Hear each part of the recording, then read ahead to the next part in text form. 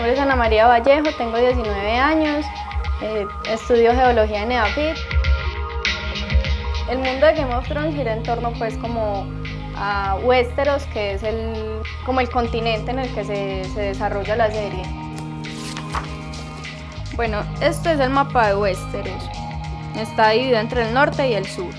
Es muy complicado decir dónde está cada personaje y cada historia porque ellos se van moviendo a través del, del mapa. Me gusta mucho Game of Thrones porque lo hacen a uno como salir del mundo y tener otro escape de la vida.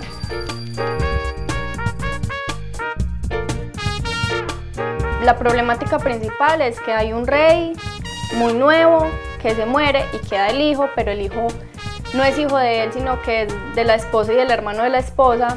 Empieza a correr la voz por todo el reino de que es un bastardo, que es hijo del incesto, entonces eso no está bien visto y ahí se va desarrollando la, la temática de la, de la serie y del libro, obviamente. Yo compré los mapas de Juego de Tronos porque me gusta demasiado pues esta, todo este cuento. Este es el, el, mapa detallado de King's Landing, donde vive el rey, pues. Eh, aquí está el castillo.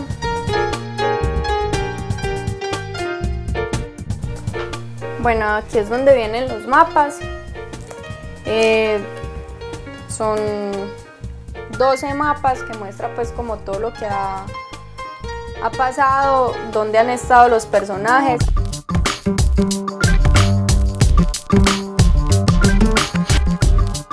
Son como pequeñas historias que van pasando por todo el mundo de Canción de Hielo y Fuego, que así se llaman los libros, y se va desarrollando como todas esas cosas y todas esas pequeñas historias y es muy, muy bueno, que después todo se va conectando. El libro da mucho detalle y mucha claridad pues en muchas cosas para poder ir armando las piecitas. En la serie no tanto, sino que le pone a uno todo ahí y ya pues menos detalle.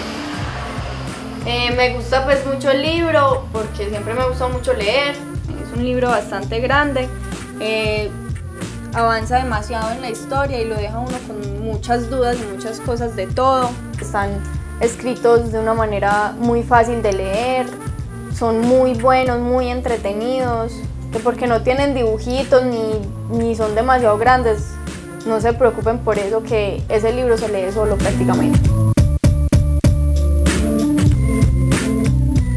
con estos mapas ya uno como que se, se le abre la mente a uno y puede ubicar la gente donde está bien.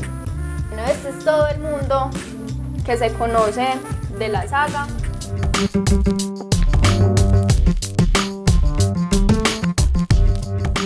Cuando uno está leyendo eso se imagina esa ciudad así como está en el mapa prácticamente. Según lo que he leído yo, eh, puede terminar muy mal. Eh, esta serie, pues, va de mal en peor. Los personajes que uno quiere siempre terminan muertos o perdidos en cualquier parte.